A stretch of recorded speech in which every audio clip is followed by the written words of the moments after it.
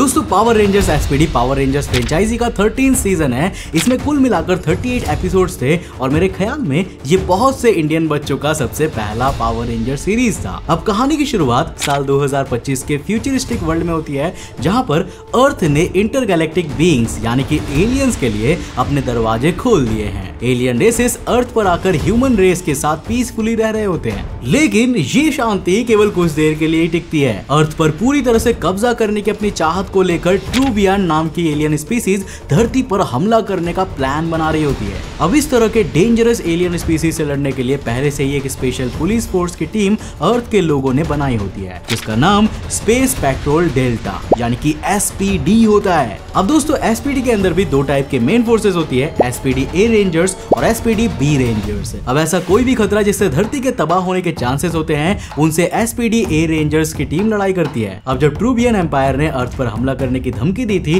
तो तुरंत SPD A rangers को उनके पास भेजा गया। लेकिन मिस्टीरियस तरीके से हर एक ए स्क्वाड का रेंजर गायब हो गया। अब अर्थ को बचाने का पूरा जिम्मा बी स्क्वाड के रेंजर्स पर आ गया और इस बी स्क्वाड के कमांडर थे एनुबिस क्रूगर जिसे हम डॉगी के नाम से भी जानते हैं। अब दोस्तों एसपीडी में भी पाँच टाइप के रेंजर्स होते हैं। रेड रेंजर सबसे पहला होता है, उसके बाद आता है ब्लू रेंजर फिर ग्रीन रेंजर फिर येलो रेंजर और सबसे अंत में पिंक रेंजर पूरी कहानी इन्हीं पाँचों रेंजर्स के इर्द गिर्द घूमती है कि कैसे वो अपने रोल में ताकतवर बने थे। अब सीरीज़ के सबसे अंत में हमें ये पता चलता है कि ए रेंजर्स जो शुरुआत में गायब हो गए थे, असल में वही असली विलेंस थे जो धरती को तबाह करना चाहते थे। आज हम अपने पाँचों फेवरेट रेंजर्स की कहानी को देखेंगे। तो बस बने रहिए वीडियो में तक मेरे साथ। तो हेलो गाइस मैं हूँ कौशिक और चलिए शुरू करते हैं एक और नए एपिसोड को। नंबर वन पिंक रेंजर दोस्तों एसपीडी फोर्स में सिडनी ड्रू को पिंक रेंजर का बैच दिया जाता है। वो एक बहुत ही आउटगोइंग लड़की है, जिसे फ़ैशन बहुत पसंद है। इसके साथ ही वो दुनिया भर में फ़ेमस होना चाहती है। अब शुरुआत में सिडनी एसपीडी फोर्स को बिल्कुल भी ज्वाइन नहीं करना चाहती थी, लेकिन उसके पिता, जो खुद एसपीडी में हाई रैंकिंग ऑफिसर थे, वो उसे एक रेंजर बनाने में सफल हो जाते हैं। सिडनी यानी कि पिंक रेंजर के पास डेल्टा ब्लास्टर और डेल्टा मैक्स स्ट्राइकर का वेपन है। इसके साथ ही उसके पास इनहेंस स्ट्रेंथ और एजिलिटी भी है। सिडनी एक हाई लेवल जिमनास्ट भी है। स्टोरी में आगे चलते चलते सिडनी अपने पावर रेंजर होने की ड्यूटी और अपने फ़ेमस होने की इच्छा के बीच फंसी हुई दिखाई देती है। उसके टीममेट्स अपने रेंजर होने की ड्यूटी को बेहद सीरियसली लेते थे, लेकिन सिडनी इस चीज़ में बहुत स्ट्रगल कर रही थी। सिडनी एक अमीर फैमिली से बिलोंग करती थी और उसे हमेशा से ही फ़ैशन की दुनिया में जाने के लिए सपोर्ट किया गया था। लेकिन आगे चलकर वो समझ जाती है कि उसका असली पैशन जस्टिस के लिए लड़ना और लोगों की मदद करना है। अब धीरे धीरे उसे समझ में आने लगता है कि उसका रेंजर होना ज़्यादा इंपॉर्टेंट है। सीरीज़ के फाइनल एपिसोड में सिडनी को बहुत बड़ा शॉक लगता है, जब उसे ये पता चलता है कि उसके पिता भी मेन विलन के साथ काम कर रहे थे। अब अंत में वो अपने रेंजर्स की ड्यूटी को चुनती है और अपने पिता को गिरफ़्तार करवा देती है। अब मुझे सिडनी का कैरेक्टर बेहद ही अच्छा लगा था। एसपीडी फोर्स को ज्वाइन करने के बाद उसने अपना ट्रू पैशन रियलाइज़ किया और अंत में अपने पिता की मदद करने की जगह उनके खिलाफ खड़े रहने का फैसला भी किया।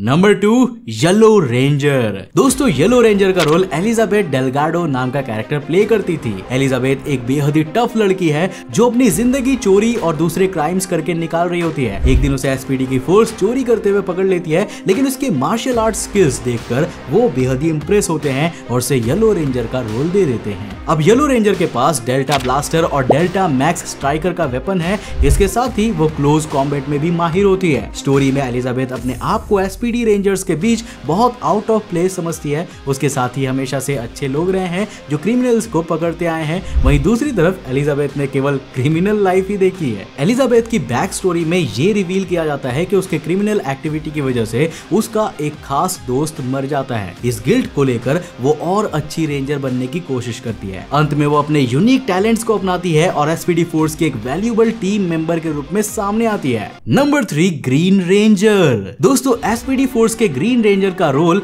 ब्रिज कैटसन प्ले करता है। ये एक फनी और इंटेलिजेंट कैरेक्टर है। अब उसके पास एक बहुत ही यूनिक एबिलिटी है, जिसमें वो फ्यूचर में होने वाले डेंजर्स का अनुमान लगा सकता है। उसके इन स्किल्स और टैलेंट को कमांडर क्रूगर ने देखा और उसे ग्रीन रेंजर के रूप में अपॉइंट कर लिया। ग्रीन रेंजर के पास डेल्टा ब्लास्टर और डेल्टा मैक्स स्ट्राइकर है, ये एक पावरफुल एनर्जी वेपन है, जिससे दुश्मनों को खत्म किया जा सकता है। अब स्टोरी में उसके इंटेलिजेंट और फनी नेचर को बहुत अच्छे तरीके से दिखाया गया है, जिन परेशानियों से दूसरे रेंजर्स बाहर नहीं निकल पाते, उन्हें ब्रिज आराम से सॉल्व कर लेता है। अब स्टोरी में हमें उसकी फ्यूचर देखने की यूनिक एबिलिटी के बारे में पता चलता है। इस स्किल की वजह से उसके साथ ही टीममेट्स उसे बहुत ही अजीब समझते हैं और हर बार उसके फ्यूचर प्रिडिक्शन पर यकीन नहीं करते। अब धीरे धीरे ब्रिज अपने पावर्स को और अच्छे से समझने लगता है और उसे लोगों की मदद करने के लिए यूज़ करने लगता है। अब सीरीज़ के फाइनल एपिसोड में हमें यह पता चलता है कि ब्रिज को असल में ब्रेन ट्यूमर है। इसी वजह से उसका ब्रेन फ्यूचर की चीज़ें देख पा रहा था। ब्रेन ट्यूमर के साथ वो ज़्यादा दिन तक ज़िंदा नहीं रह सकता था,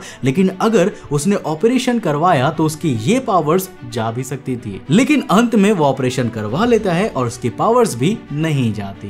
नंबर फोर ब्लू रेंजर दोस्तों ब्लू रेंजर का रोल एसपीडी फोर्स में स्काई टेट को दिया गया है। स्काई एक डिसिप्लिन और सीरियस आदमी है जो अपने पावर रेंजर्स की जॉब को सीरियसली लेता है। अब स्काई की पूरी फैमिली एसपीडी रेंजर्स की है, इसलिए उसके ऊपर एक अच्छे ऑफिसर बनने की रिस्पॉन्सिबिलिटी होती है। अब शुरुआत में कमांडर क्रूगर स्काई को रेड रेंजर के रूप में अपॉइंट करते हैं, जो की टीम का लीडर होता है, लेकिन जब वो रूल्स को फॉलो नहीं करता और अपने मन मुताबिक काम करने लगता है तो उसे डिमोट करके ब्लू रेंजर बना दिया जाता है। अब ब्लू रेंजर के पास डेल्टा ब्लास्टर और डेल्टा इन्फोर्सर वेपन है, जो की एक पावरफुल एनर्जी कैनन है। इसके साथ ही वो हैंड टू हैंड कॉम्बैट में भी माहिर है। है। पूरे सीरीज़ में स्काई और रेड रेंजर जैक की रिलेशनशिप दिखाई गई है। स्काई जैक पर भरोसा नहीं करता था और उसे अपने लीडर के रूप में एक्सेप्ट भी नहीं कर पा रहा था। अब जैसे जैसे स्टोरी आगे बढ़ती जाती है, वो जैक पर ट्रस्ट करना सीख जाता है और दोनों अच्छे दोस्त बन जाते हैं। अब स्काई की बैक स्टोरी में हमें यह पता चलता है कि उसके पिता स्काई के प्रति बहुत हाई एक्सपेक्टेशन रखते हैं और स्काई का मकसद भी अपने पिता को प्राउड फील करवाना था और ये भी रिवील होता है कि मिशन के दौरान स्काई ने अपने टीममेट को पीछे छोड़कर खुद की जान बचा बचाई थी। ये ड्रामा और गिल्ट उसे कोई भी फैसला लेने से पहले